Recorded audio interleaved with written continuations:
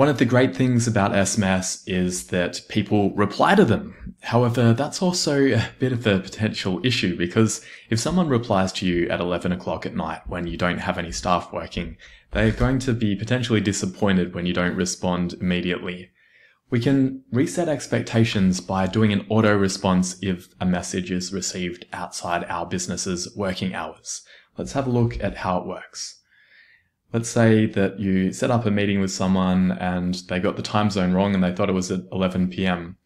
And they send a message saying, Are you still open? And then they send another one saying, Hello. What would be great is if we can automatically reply to them and give them a heads up that we got their message and we're going to reply the next day. That's possible via a workflow rule.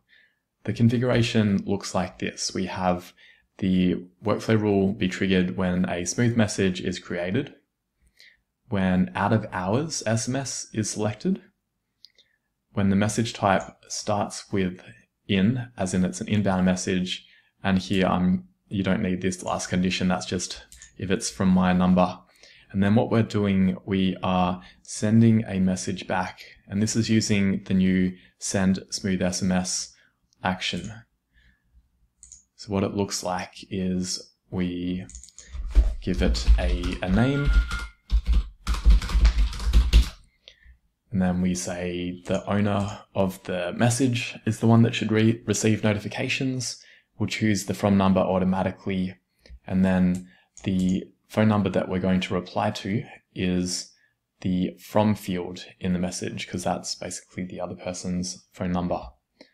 Here we are linking it to all possible options because we don't know if it's going to come from a contact, from a lead, from a deal, or a case. And then in our message template, we try and reply to them by name if we have that. And we let them know thanks for the message. These are our hours. Sorry for the delay.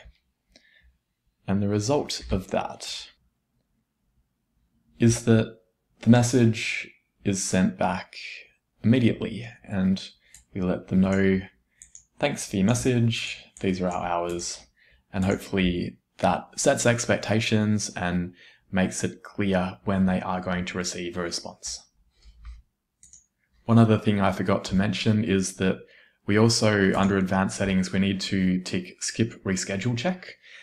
That will mean that if the messages received outside business hours that it will still be sent immediately. Because normally, if we have a workflow SMS, we actually reschedule it for the following day because often they don't need to be sent in a time critical manner. But in this situation, it is important that they are sent immediately.